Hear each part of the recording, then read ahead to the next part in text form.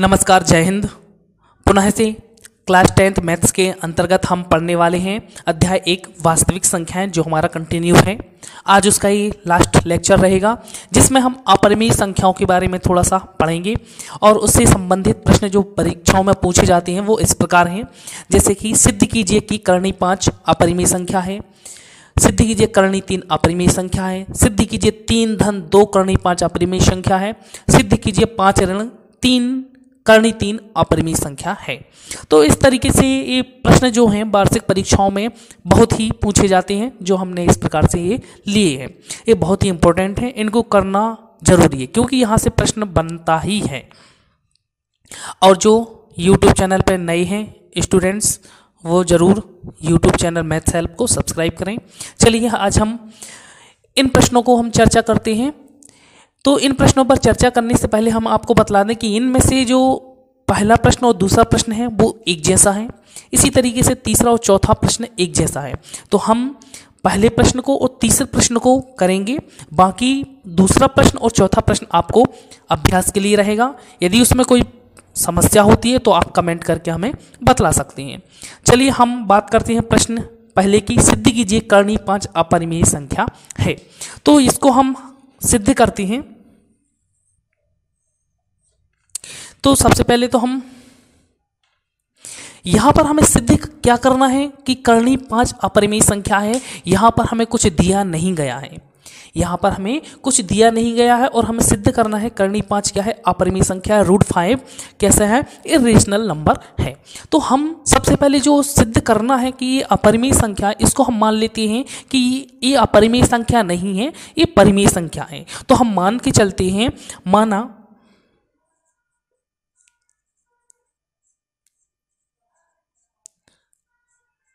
करणी पाँच एक परिमेय संख्या है।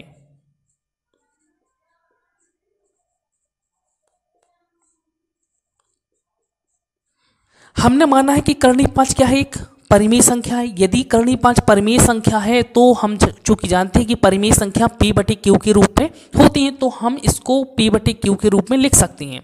तो करणी पाँच बराबर पी बटे क्यू, जहाँ क्यू बराबर नहीं है, ज़ीरो की। अब एक चीज़ बतला दें कि यदि ये परिमेय है, जिसको हम पी बटे क्यू के रूप में लिख सकते हैं, और क्यू ज़ीरो के बराबर नहीं है, और यहाँ पर पी और क्यू जो होते हैं, वो क्या हैं? पूर्णांक हैं। तो यहाँ हम बतला दें, जहाँ पी और क्यू पूर्णांक हैं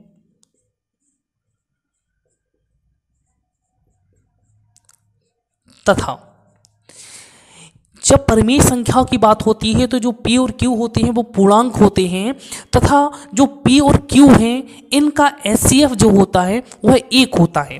तथा एस अर्थात महत्तम समावर्तक पी क्यू का क्या होना चाहिए? एक होना चाहिए। इनका एस क्या होना चाहिए?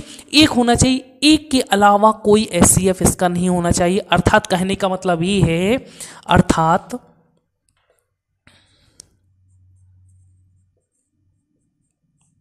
अर्थात हम कह सकते हैं P और Q में अर्थात P और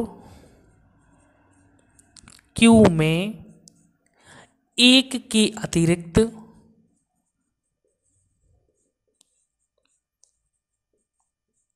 कोई उभयनिष्ठ गुणनखंड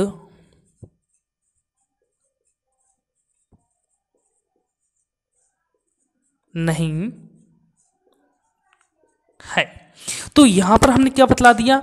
सबसे पहले तो जो सिद्ध करना था कि करनी पाँच अपरिमेय संख्या है तो हम उसके ब्लॉम मान के चल रहे हैं, विपरीत मान के चल रहे हैं कि करनी पाँच क्या है? एक परिमेय संख्या है। हमने उसके विपरीत माना तो करनी पाँच परिमेय संख्या को माना तो हमने उसको पीवटी क्यू के रूप में लिख दिया, और क्यू ज़ीरो के बराबर नहीं है।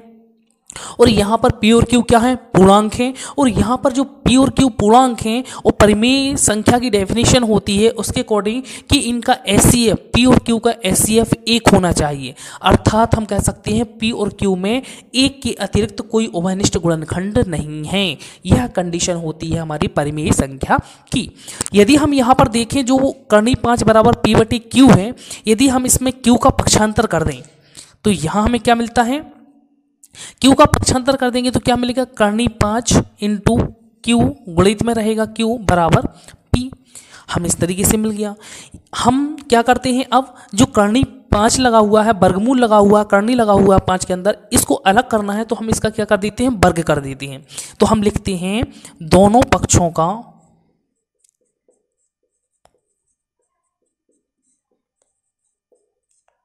वर्ग करने पर वर्ग करते हैं। तो यहाँ हमें मिलता है पाँच इंटू क्यू वर्ग बराबर पी वर्ग। इसको हम दे देते हैं समीकरण एक। तो हमें यहाँ पर समीकरण एक मिल जाता है। अब यदि हम देखें कि जो पाँच है क्यू के वर्ग के साथ गुणा में है, यदि हम इसका पक्षांतर कर दें तो हमें क्या मिल जाएगा? क्यू वर्ग बराबर पी वर्ग बटी पाँच। अर्थात क्या है? पी वर्ग के बटी में पाँच आ गया। तो और पी वर्ग यदि पाँच से डिवाइड है तो हमें आंसर क्या मिल रहा है? क्यू वर्ग। अर्थात हम यहाँ पर कह सकते हैं, यहाँ पर हम क्या लिख सकते हैं? चूँकि पी वर्ग किससे विभाजित है? पाँच से विभाजित है। पाँच से विभाजित है। चूँकि हम एक प्रमेय, एक दशमलव तीन करके एक प्रमेय है, हम उसके अकॉर्डिंग कह सकते हैं कि यदि पी वर्ग पाँच से विभाजित है तो जो संख्या पी होगी, वह भी पाँच से विभाजित होगी। पी पाँच से विभाजित से विभाजित होगा। हमने क्या कह दिया? यदि पी स्क्वायर पाँच से विभाजित है तो इसलिए पी जो है पाँच से विभाजित होगा। यदि पी का वर्ग पाँच से विभाजित है तो पी भी पाँच से विभाजित होगा। इसको हम समीकरण दे देते हैं। समीकरण दो। और ये कहाँ से आ गया हमें? कहाँ से पता चला कि, पी वर्ग पाँच से विभाजित है तो पी भी पाँच से विभाजित होगा? हमें एक थ्योरम है प्रमेय है एक दशमलव पाँच। तो हम कह सकते हैं प्रमेय से। प्रमेय एक दशमलव तीन से। हमें एक प्रमेय दिया गया है, उससे हमें ये पता चलता है।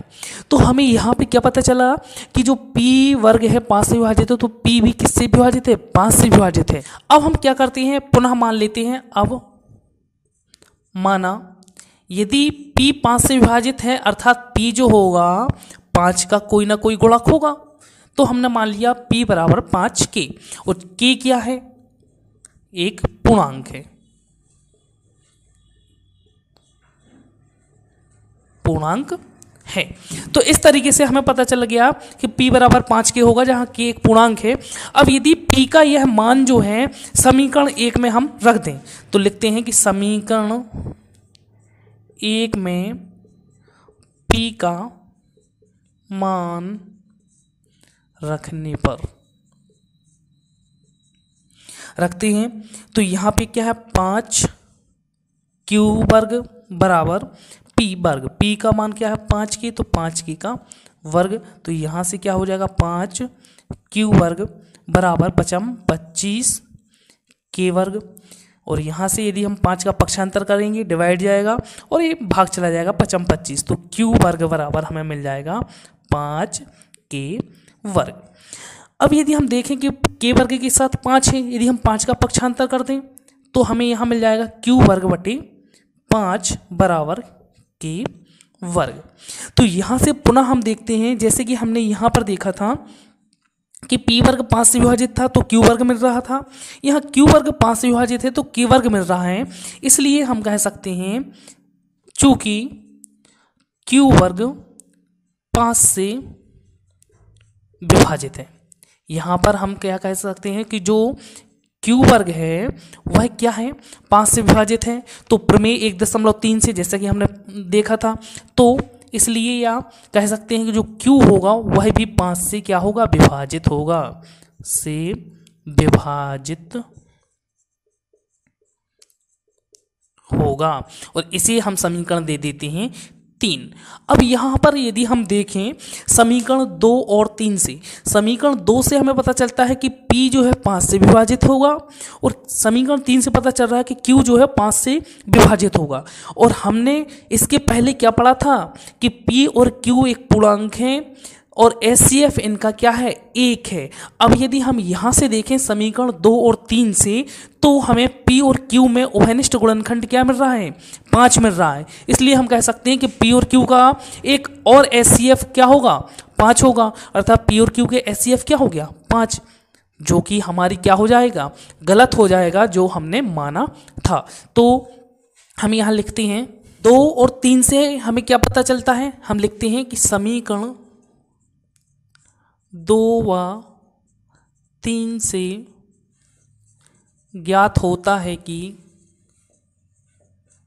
होता है कि पी व क्यू में उभयनिष्ठ गुणनखंड, उभयनिष्ठ गुणन खंड पाँच है।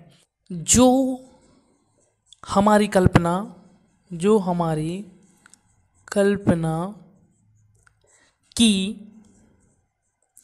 पी व क्यू में एक के अतिरिक्त कोई उभयनिष्ठ गुणनखंड नहीं है। गुणनखंड नहीं है के विपरीत है। अतः यह विरोधाभास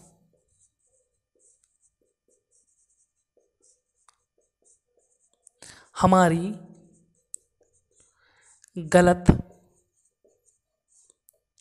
कल्पना के कारण प्राप्त होता है।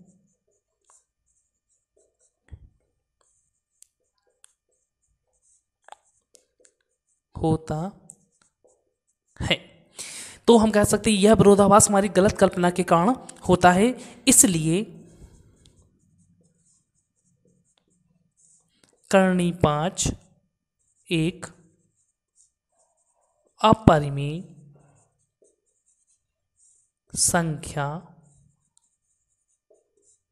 है। तो इस तरीके से हम इसको हल कर सकते हैं।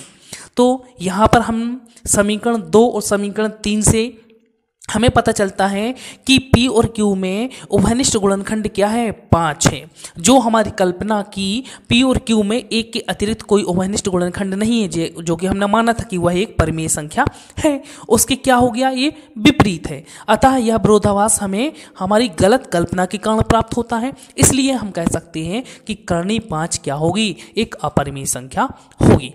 यह अगला प्रश्न था, सिद्ध कीजिए कि तीन धन, दो करणी, पाँच एक अपरिमेय संख्या है। तो हमें इसको पुनः अपरिमेय सिद्ध करना है। तो चूँकि जैसे कि हमने पिछले, जैसा कि हमने पिछले प्रश्न में देखा था, हम इसको क्या मान के चले थे? परिमेय मान के चले थे। इसको भी वैसे ही करेंगे। तो मान लेते हैं, माना तीन धन, दो करणी, पाँच, एक परिमेय संख्या है।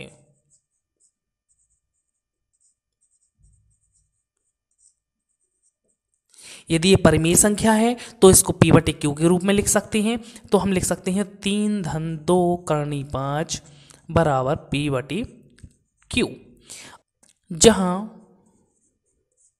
यहाँ लिख सकते हैं क्यू बराबर नहीं है ज़ीरो, जहाँ पी व क्यू पूर्णांक हैं। तथा P व Q में एक के अतिरिक्त कोई उभयनिष्ठ गुणनखंड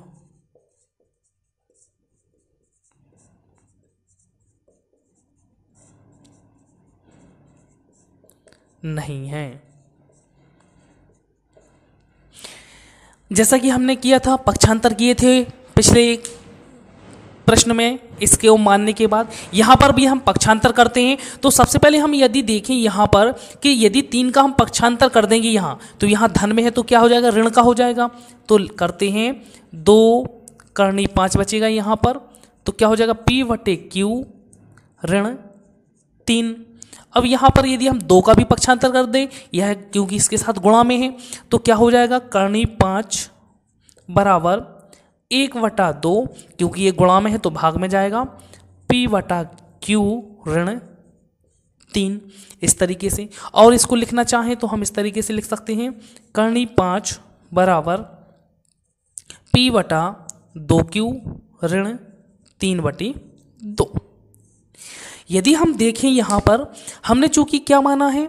तीन धन दो करनी पाँच परिमेय संख्या था तो हमने इसको हल किया तो हमें इस तरीके से प्राप्त हो जाता है। तो यहाँ पर यदि हम देखें कि चूँकि पी बटे क्यू क्या था? एक परिमेय संख्या थी। पी बटे क्यू क्या है? एक परिमेय संख्या है। तो पी बटे दो क्यू ऋण तीन बटे दो भी क्या सी होगी? एक परिमेय संख्या होगी। तो हम यहाँ लिख सकते हैं, चूँकि पी वटा दो क्यू? ऋण तीन बटे दो। एक परिमेय संख्या है।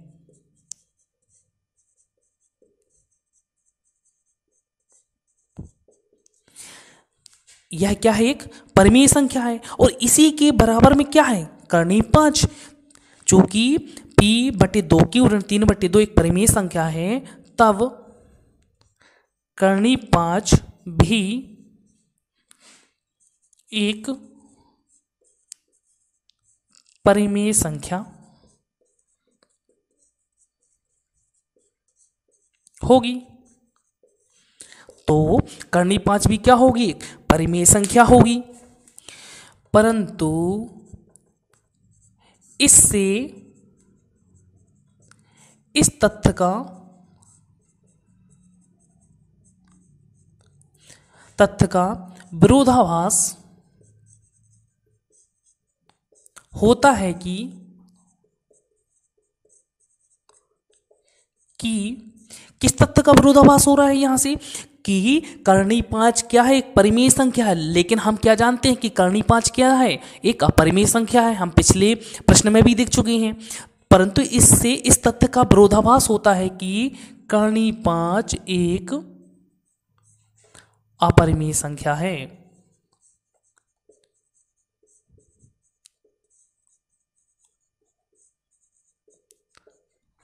तो करनी पाँच क्या है? एक अपरिमेय संख्या है।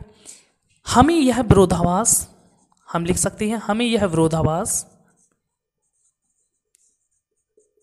हमें यह विरोधाभास क्यों प्राप्त हुआ है? हमारी गलत कल्पना के कारण, क्योंकि यह क्या है एक करनी पाँच? अपरिमेय संख्या है, लेकिन हमें क्या मिल रहा है? परिमेय संख्या क्योंकि हम जानते हैं क्योंकि तो यह जो विरोधाभास है, हमें यह विरोधाभास हमारी गलत कल्पना के कारण कारण प्राप्त होता है। होता है। इसलिए